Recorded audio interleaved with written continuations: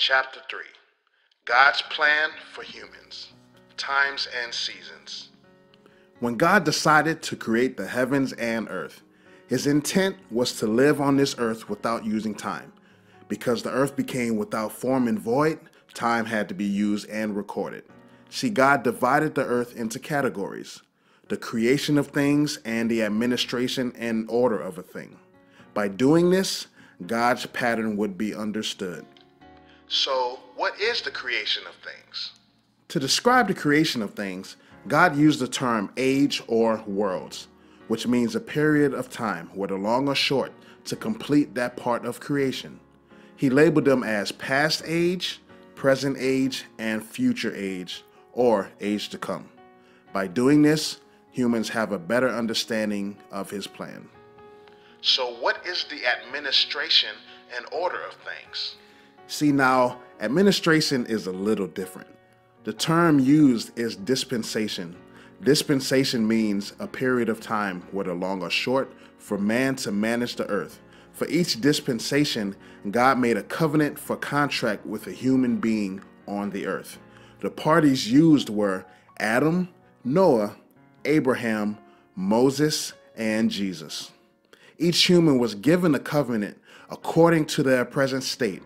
Each party was also given a time period to manage with purpose. The dispensations for each period of time are innocence, consciousness, human government, promise, law, grace, and divine government. Dispensation of innocence. After creating the earth, man and woman, God placed them in the Garden of Eden. God made a covenant with Adam an innocent man to be fruitful, multiply, and refill the earth. He could eat of every tree, but the tree of knowledge of good and evil. Should he eat of that tree, his spirit will become inactive, which is considered dead. It was Adam that purposely disobeyed God, which caused him to sin and end the contract of innocence. Not only did it end the contract, but the couple was also taken out of the Garden of Eden. To make sure they did not re enter, he placed an angel with a sword of fire in his hand to guard. Dispensation of consciousness. Man was now on the earth with the ability to know good and evil. Now that man was conscious of what was in the earth, God created another contract. He told him to stay away from evil and do well and to be aware that he is now a sinner, which cannot come into heaven. Also, he will physically work hard all the days of his life. Concerning his wife, God said that the pains of childbearing will occur. The woman will also declare the position as the head. In this dispensation, God made a promise to man that through his wife, he would have a child with all authority in the future.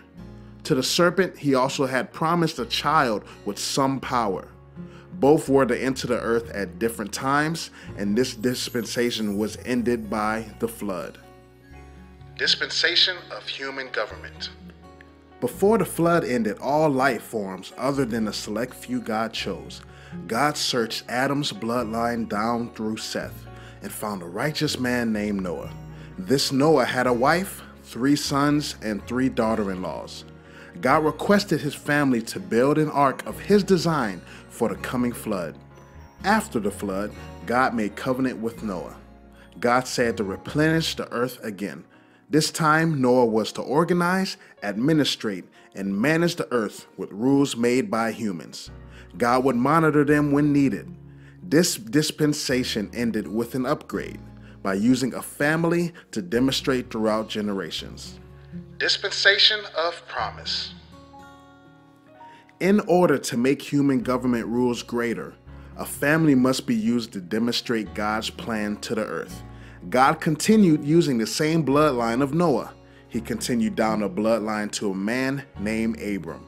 See, Abram was a married man with no children. But this is the covenant that was made with Abram, which later name changed to Abraham. He said Abraham would move to a land the Lord will show him. He will be a father of many nations. Whoever bless him, God will bless them, but whoever curse him, God will curse them. Through Abraham's family, all the families of the earth would be blessed. This dispensation ended when the family's promises became too powerful for human governmental rules with sin clauses. God decided to build a dispensation to identify what was a sin. Dispensation of Law. God has given humans governmental rules and administration, also a family to fulfill his promises through. Now it was time to show the world what sin is. God chose Moses from Abraham's family, but not from the special bloodline of Judah, which was to bring the Messiah. The covenant was to give the family the commandments from God, which made a big difference from others on earth. These commands God made himself, and they must be done. God allowed humans to do wrong because all wrong was not sin. Yet, sin separated them from God. God hates sin. It will always exist for those who are not a believer. In the next lesson, God will introduce a better covenant. Dispensation of Grace. The law came and ended at the cross with a better covenant and better rules. See, the Messiah, Jesus, taught the disciples. Jesus said to them when he came back from the dead to wait on the Holy Spirit, which will make them better witnesses by following them, leading them and guiding them into all truth.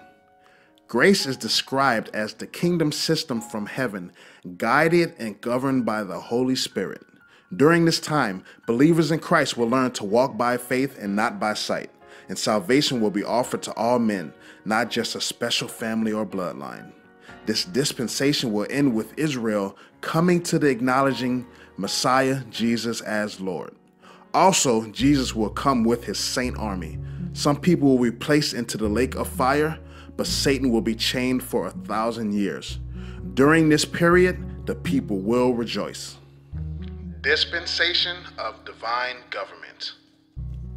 See, this is a period of 1,000 years where the King of Kings and Lord of Lords will rule his physical kingdom with the help of his redeemed saints of all nations.